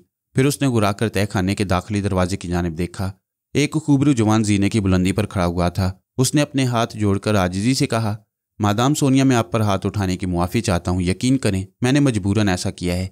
आप चाहें तो इंतकामन मेरी गर्दन तोड़ सकती हैं, मैं उफ नहीं करूँगा। सोनिया ज़रा नरम पड़ गई, फिर भी गुस्सा से बोली, क्या तुम सीधी तरह मुझे तय खाने में वापस आने के लिए नहीं कह सकते थे? मैंने कहा, ना, मादाम के मजबूरी थी, अभी थोड़ी देर पहले मैं इस इमारत में दाखिल हुआ तो रेड पावर के आदमियों ने मुझे घेर लिया। वो मुझसे तरह तरह के सवाल करने लगे। मैंने जवाब देकर उनकी तसली कर दी कि मैं एक अमन पसंद शहरी हूँ। और इस इमारत में छः माह से किराएदार की हैसियत से रहता आ रहा हूँ। उन्होंने अंदर आकर एक एक कमरे की तलाशी ली, फिर मुतमिन होकर बाहर चले गए। मैंने दरवाज़ा बंद करने के बाद एक खिड़की के पर्दे से ज़रा झाँक कर देखा तो वो लोग सामने वाले दरख्त के साय में खड़े हुए थे। इस इमारत की तरफ़ देख रहे थे। मैं दौड़ता हुआ यहाँ आया। उसी वक्त तुम बाहर निकल रही थी। तुम्हें समझाने का मौका नहीं था इसलिए मैंने वापस जीने की तरफ़ तुम्हें धक्का दे दिया। मैं एक बार फिर मुआफ़ी चाहता हूँ। आप ज़रा सब्र से इंतज़ार करें। मैं अभी बाहर का जायज़ा लेकर आ जाऊँगा। ये कहते ही वो फिर तय खाने के ऊपर जाकर नज़रों से उजल हो गया। इसके साथ ही तय खाने का दरवाज़ा भी बंद हो गया। सोनिया ने मुझे मुखातिब किया, फरहाद, ये कौन था? क्या तुम इसके दिमाग में नहीं झांकोगे? मैंने कहा यह शंकर ही हो सकता है। मैं एहतियातन तुम्हारा लहजा इख्तियार करके इसके दिमाग तक पहुँचने जा रहा हूँ। तुम वहाँ कोई हंगामा न करना। ये कहकर मैंने शंकर की आवाज़ और उसके लहजे की दिल ही दिल में रिहर्सल की। फिर उसकी सोच को गिरफ्त में लेना चाहा। तो शंकर खिड़की की तरफ़ जाते जाते ठिठक गया। उसने फ़ौरन ही सांस रोक ली। तब पता चला कि वो योगा का माहिर है हबसे दम का माहिर हो या ना हो, सांस रोकने के फ़न से वाकिफ़ है। मैं उसके दिमाग में था, लेकिन वो सांस रोककर अपनी सोच की धारा को भी रोक चुका था। जब तक सांस ना लेता, सोच की लहरें आगे न बढ़ती। चंद सेकंड के बाद वो हौले हौले सांस लेते हुए बड़ी राजदारी से बोला, देवी, मेरी रक्षा करने वाली देवी, क्या तुम आ गई हो? मैं उसकी सोच पढ़कर सोच में पड़ गया कि वो किस देवी को मुखातिब कर रहा है। अकल यही कहती थी कि वो देवी रूपा ही हो सकती है। ये बात जहन में आते ही मैंने देवता की बजाय देवी बन जाने का एक चांस लिया। उससे जनाना लहजे में कहा हाँ मैं आ गई हूँ। क्या तुम सोनिया तक पहुँच गए हो? हाँ पहुँच गया हूँ, वो हिचकिचाते हुए बोला। मगर तुमने तो कहा था कि जब सोनिया से मेरा सामना होगा तो तुम मेरे दिमाग में नहीं आओगी। इस तरह सोनिया तुम्हारी सोच पढ़ लेगी। मैंने कहा, पढ़ने दो। मैं कब तक छुप कर रहूँगी? पहले इस बात का यकीन हो जाना चाहिए कि सोनिया वाकई टेलीपैथी जानती है। देवी, तुम पहली बार मेरी रिपोर्ट पर यकीन नहीं कर रही हो। मैं जानता हूँ कि तुम किसी शराबी की बकवास पर यकीन नहीं करती हो। मगर वो शराबी रेड पावर से ताल्लुक रखता था। वो बार में बैठा हुआ अपने एक साथी से कह रहा था कि अब मास्क मैन की जीत ही जीत होगी। सोनिया ने आज कितने ही बॉस और कितनी ही मादाम के सामने टेलीपैथी का मुजाहरा किया है। एक खतरनाक कोबरा मैन की आँखें फोड़ दी हैं। देवी बेशक वो बार में बैठकर पी रहा था, मगर शराबी नशे में कभी झूठ नहीं बोलते। जब मैं सोनिया को तुम्हारे सामने पेश करूँगा तो मेरी सच्चाई साबित हो जाएगी। मैंने पूछा, तुम सोनिया को कब पेश करोगे? कहाँ पेश करोगे? रवानी में मुझसे भी गलती हो सकती है। मैंने ऐसे सवालात किए थे कि वह चौंक गया। उसने हैरानी से पूछा, ये ये तुम कैसे सवालात कर रही हो? जबकि खुद तुमने जगह का तयन किया है, ज़रा ठहरो, फिर एक बार मुझे मुखातिब करो। मैं कुछ यूँ महसूस कर रहा हूँ कि तुम्हारा लहजा कुछ बदला हुआ सा है। मैं ज़रा गड़बड़ा गया, फिर भी ढिठाई से बोला, मैं अपने को कुछ बीमार महसूस कर रही हूँ, इसीलिए लहजा बदल गया। उसने कहा, देवी, आज तक हम में से किसी ने तुम्हें बीमार पड़ते नहीं देखा। देखो, मुझे शुभ हो रहा है। मेरी तसल्ली के लिए इतना बता दो कि तुमने सोनिया को कहाँ हाजिर होने का हुक्म दिया था। ये तो मेरे फरिश्ते भी नहीं जानते थे कि वो देवी मेरी सोनिया से कहाँ मिलना चाहती है। फिर मैं उसके सवाल का सही जवाब कैसे दे सकता था? अगर खामोश रहता तो वो समझ लेता कि यह सब सोनिया की शरारत है। वो देवी बनकर सोच के ज़रिए गुफ्तगु कर रही है। अब तो ये बात किसी न किसी तरह ज़ाहिर हो ही जाती। इसलिए मैंने कहका लगाकर कहा, शंकर, तुम भी जगपाल की तरह अहमक हो। जब तुम्हारी देवी ये कह चुकी थी कि तुम मुझसे मुलाकात करोगे तो वो तुमसे दिमागी रबता कायम नहीं करेगी। फिर तुमने मुझे देवी कैसे समझ लिया? शंकर ने एक हाथ से अपने सर को थाम लिया। उसकी सोच कह रही थी, मैं सुबह से किस तरह जहनी तौर पर उलझा हुआ हूँ। इस परेशानी में यही बात समझ में आई कि शायद देवी ने किसी ज़रूरत के तहत मुझे पुकारा है। ओह, मुझसे बड़ी भूल हुई। फिर उसने सोच के ज़रिए सोनिया को मुखातिब किया, मादाम सोनिया, आप बहुत चालाक हैं। मुझे धोखा देकर कितनी ही बातें उगलवा लें। मैंने कहा, जब उगल ही चुके हो तो ये भी बता दो कि तुम्हारी देवी अब तक मुझसे दूर क्यों भाग रही है? मेरी देवी के लिए ऐसे शब्द ना कहो। वो कायर नहीं है कि तुमसे दूर भागेगी। शंकर, तुम अपनी देवी की शान में कसीदा पढ़ते रहो, मगर तुमने लाइलमी में हकीकत उगल दी है। तुम्हारी देवी को इस बात का खतरा है कि अब वो तुम्हारे दिमाग में आएगी तो मैं उसके दिमाग में पहुँच जाऊँगी। ये बात शंकर कह चुका था, अब इनकार नहीं कर सकता था। उसने कहा, मादाम, हम तुमसे दोस्ती करना चाहते हैं। मेरी प्रार्थना है कि तुम देवी के बारे में खोज ना लगाओ। मुझसे कौन दोस्ती करेगा, तुम या तुम्हारी देवी? हम सभी दोस्ती करना चाहते हैं। मैं किसी को देखे बगैर दोस्ती नहीं कर सकती। तुम देवी को ज़रूर देखोगी। उसके लिए यहाँ से निकलने की तदबीर करना है। वहाँ मेकअप का सामान है। वार्डरोब में बहुत से जनाना मलबूसात हैं। तुम अपना रूप बदलने की कोशिश करो। मैं अभी आता हूँ।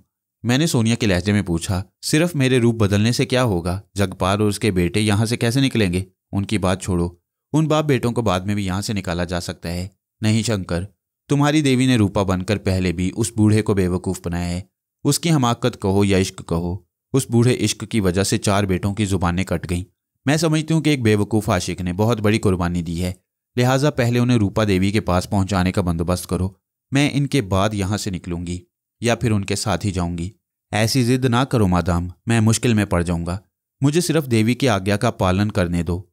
जहाँ मैं होती हूँ, वहाँ किसी देवी का हुक्म नहीं चलता। मैं जो कहती हूँ उस पर अमल करो। वरना दोस्ती दुश्मनी में बदल जाएगी। वो परेशान होकर एक तपाई पर बैठ गया। अब वो सोच रहा था कि क्या करे।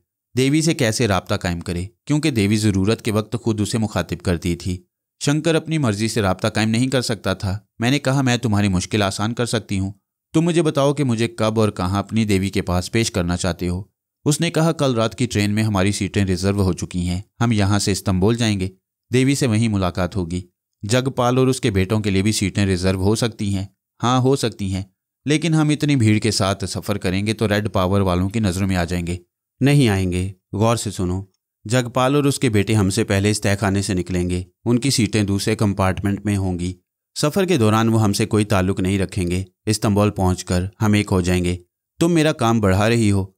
इसके बगैर दोस्ती मुमकिन नहीं। वक्त ज़ाय ना करो। बाहर जाकर जगपाल और उसके बेटों के लिए इंतज़ाम करो। वो इनकार न कर सका। बाहर जाने के लिए तैयार हो गया।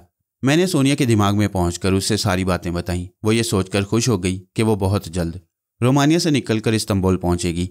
फिर उसे मेरे पास पहुँचने का मौका मिल जाएगा। मैंने कहा, बस, अब तुम मुतमिन हो जाओ और वहाँ से निकलने के लिए मेकअप शुरू कर दो। मैं थोड़ी देर के लिए तुमसे रुखसत हो रहा हूँ। मैं उसके जहन से निकल आया और उस देवी के मुतलिक सोचने लगा जिसका फर्जी नाम रूपा था। सबसे पहले मैं उसके तरीक़ेकार पर गौर कर रहा था। जिस तरह कुछ लोग मुझे टेलीपैथी की बिना पर देवता कहते थे उसी तरह उसे भी देवी कहा जा रहा था।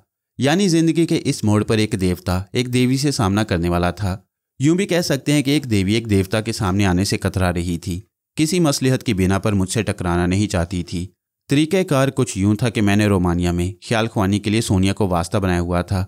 देवी भी शंकर की मार्फत अपना काम कर रही थी। लेकिन वो मुझसे ज़्यादा मोहताज थी। अब शंकर से दिमागी रबता कायम नहीं कर रही थी। उसके बरक्स मैं बदस्तूर सोनिया की सोच के ज़रिए गुफ्तगु करता जा रहा था। इन हालात में ये सोचा जा सकता है कि जब तक सोनिया जगपाल से बातें करती रही, उस वक्त तक देवी जगपाल के दिमाग से निकलकर सोनिया के दिमाग तक पहुँच चुकी थी। लेकिन उसने अपनी सोच के ज़रिया मदाखलत नहीं की। ठीक मेरे तरीक़ाकार के मुताबिक चुपचाप सोनिया के दिमाग को पढ़ती रही।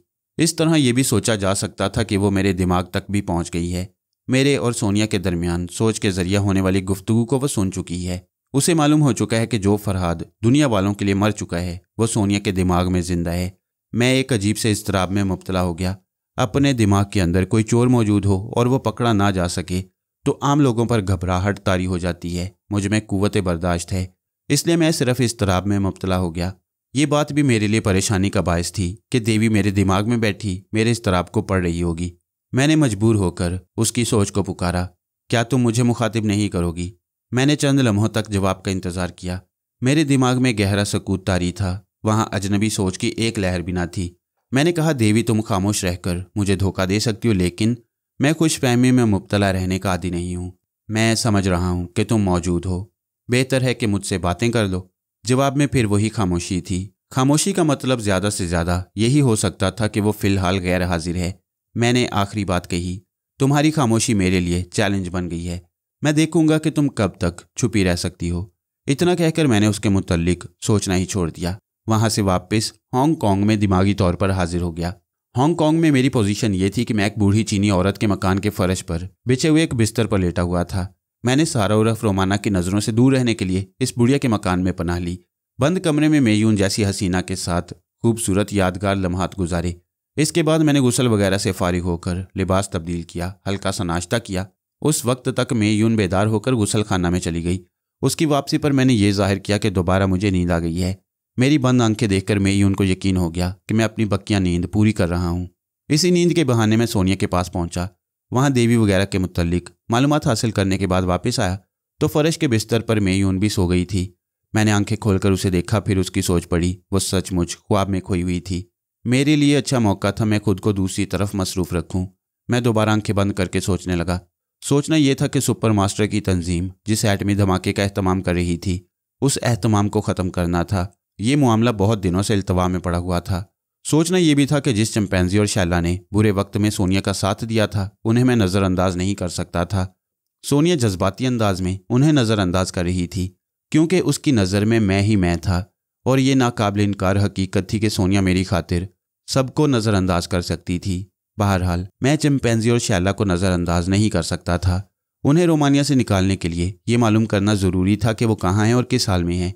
इस घर से मैंने चिंपैंजी के दिमाग में झाँक कर देखा। उस वक्त वो शैला के साथ उसी इमारत के बड़े हॉल में था, जहाँ से सोनिया को अगवा किया गया। वहाँ मादाम वीर और मिस्टर बैंकॉक और दूसरे बहुत से लोग थे। वो सब सोनिया को तलाश करने के बाद थक हार कर इस इंतज़ार में बैठे हुए थे कि अब सोनिया ही किसी वक्त उन्हें मुखातिब करेगी। वो सब इधर उधर बैठे हुए थे। सिर्फ़ चिंपैंजी गुस्से में टहल रहा था। उसने ज्यूरिज के पास आकर उसे घुंसा दिखाते हुए कहा, मैं कहता हूँ, मुझे मम्मी की तलाश में जाने दो, वरना मैं तुम्हारा सर तोड़ दूँगा। ज्यूरिज ने अपनी जगह से उठकर कहा, पागल ना बनो। हमने मादाम के लिए सारा शहर छान मारा, आसपास के तमाम ममालिक में, अपने एजेंट्स तक मादाम की तस्वीरें भेज दी। बड़े पैमाना पर तलाश जारी है, तुम तनहा कहाँ ढूंढते फिरोगे? मैं ढूँढने के लिए कहीं भी जाऊँगा। मुझे इस बात पर गुस्सा आ रहा है कि तुम लोगों ने मुझे यहाँ कैद कर रखा है। नहीं, हमने तुम्हें, मादाम सोनिया, की अमानत समझ रखा है। अगर वो वापस आकर तुम्हारे बारे में पूछेंगी तो हम क्या जवाब देंगे? शैला ने अपनी जगह से उठकर कहा, मिस्टर ज्यूरिच, आप आध घंटा पहले दूसरे कमरे में मिस्टर जोनूफ से गुफ्तगू कर रहे थे। आपको इतमान था कि मैं रूसी ज़ुबान नहीं जानती हूँ। बहरहाल, मैं जानती हूँ। आप उससे कह रहे थे कि मादाम सोनिया को दुश्मनी इस तरह जेर करके नहीं रख सकते कि वो हमसे दिमागी रबता कायम ना कर सकें। अगर ये फ़र्ज़ किया जाए कि मादाम को बेहोश रखा गया है तो अब पंद्रह घंटे गुजर चुके हैं। इतनी तवील बेहोशी मुमकिन नहीं है। या तो मादाम को हमेशा के लिए ख़त्म कर दिया गया है, या फिर मादाम किसी तरह की दोहरी चाल चल रही हैं। शैला की बातें सुनकर सबने सवालिया नज़रों से ज्यूरिच को देखा। ज्यूरिच ने घबरा कर बात बनाई, ठीक है, मैं ऐसा सोच रहा हूँ। इन हालात में तरह तरह के शुभात जन्म लेती हैं। कोई भी ये सोच सकता है कि मादाम सोनिया दोहरी चाल चल सकती हैं। मादाम वीरा ने गुस्सा से चीख कर कहा, लानत है तुम पर। तुम ऐसा सोच सकते हो, हमें से कोई ऐसा नहीं है। जो मादाम सोनिया के खिलाफ ज़रा भी शुभ अपने दिल में रखता हो। सबने मादाम वीरा की तायद की। वहाँ एक सिरे से दूसरे सिरे तक रेड पावर के जितने अहम बॉस और मादाम वगैरह थे, वो सब सोनिया की पूजा करने की हद तक उसे जानो ईमान से चाहते थे। इन हालात में ज्यूरिज तमाम अफराद से बिगाड़ पैदा नहीं कर सकता था। उसने कहा, मैंने मादाम पर शुबा करके ज़बरदस्त गलती की है। मैं इस गलती की मुआफ़ी चाहता हूँ। शैले ने कहा, मिस्टर ज्यूरिच आप ये भी कह रहे थे कि मादाम सोनिया चिंपैंजी को अपना बेटा कहती हैं। लिहाजा इस बेटे को अपने यहाँ यरगमाल के तौर पर रखना चाहिए। ज्यूरिच एकदम से घबरा कर बोला, नहीं, तुम झूठ कहती हो। मैंने ऐसा नहीं किया है, ये झूठ है, तुम इल्ज़ाम दे रही हो। शैला ने कहा, मैं सच कह रही हूँ। तुम अपने झूठ से बचने के लिए चीख रहे हो। अगर मादाम अभी मौजूद होती तो तुम्हारे दिमाग से सारे झूठ को उगलवा लेती। शैला की बातें सुनकर मैंने सोचा यह अच्छा मौका है। तमाम बॉस और मादाम सोनिया के हामी हैं। ऐसे वक्त इन सबको रेड पावर के खिलाफ भड़काया जा सकता है। ये सोचकर मैंने मादाम वीरा को मुखातिब किया, हेलो वीरा, मैं तुम्हारी मादाम बोल रही हूँ। वीरा फ़ौरन ही उछल कर खड़ी हो गई, फिर चीख कर बोली, मादाम वापस आ गई हैं? हमारी मादाम वापस आ गई हैं। सभी अपनी अपनी जगह से उठकर वीरा को यूँ देखने लगे, जैसे उसकी खोपड़ी पर सोनिया बैठी हुई नज़र आ रही हो। मैंने कहा, वीरा, तमाम दोस्तों से कहो कि इतमान से बैठें। अभी सबके सामने ज्यूरिज का मुहासबा किया जाएगा। वीरा ने तमाम लोगों को इतमान से बैठने के लिए कहा। फिर मेरी सोच के मुताबिक उसने ज्यूरिज से सवाल किया, मिस्टर ज्यूरिज अब से ग्यारह घंटे पहले तुमने मास्क मैन से रबता कायम किया था। बताओ कि वहाँ मादाम सोनिया के खिलाफ क्या गुफ्तु हुई? ये तुम कैसी बातें पूछ रही हो? हमने मादाम के खिलाफ कोई गुफ्तगु नहीं की। वीरा ने कहा, हम सब मास्क मैन की इजाज़त हासिल किए बगैर मादाम की तलाश में यहाँ से चले गए थे। तुमने ये सोचा कि मादाम सोनिया हमारे दिलो दिमाग पर इस तरह हावी हो गई हैं कि अब हमें मास्क मैन की इजाज़त की भी परवाह नहीं रहती? दूसरे लफ्ज़ों में तुमने ये सोचा कि मादाम मास्क मैन से बर्तरी हासिल कर रही हैं। ये झूठ है, ज्यूरिच ने चीख कर कहा। उसी वक्त मैंने उसके दिमाग को एक झटका पहुँचाया। वो पीछे की जानब कुर्सी पर गिरा। फिर कुर्सी समेत फर्श पर लुढ़क गया। मैंने उसकी खोपड़ी में कहा, मैं सोनिया बोल रही हूँ। फ़ौरन सच्चाई का एतराफ़ करो, वरना जहनी झटके पहुंचाकर पागल बना दूँगी। ये कहते ही मैंने फिर एक झटका पहुँचाया। वो चलकर खड़ा हो गया। दोनों हाथों से सर को थामकर आगे पीछे शराबियों की तरह झूमने लगा। वीरा ने कहा, वक्त ज़ाया न करो। अपनी खैरियत चाहते हो तो अब भी सच उगल दो। ज्यूरिच बैठना चाहता था, मगर मैंने बैठने की इजाज़त नहीं दी। मैंने उसे कहा कि वो इसी तरह लड़सते हुए पैरों पर खड़ा रहकर सच कहता रहे। आखिर उसने कहा हाँ मैं इतराफ़ करता हूँ। मैंने मास्क मैन के सामने सोनिया के खिलाफ जहर उगला है। वीरा ने मेरी सोच के मुताबिक कहा, तफसील बयान करो।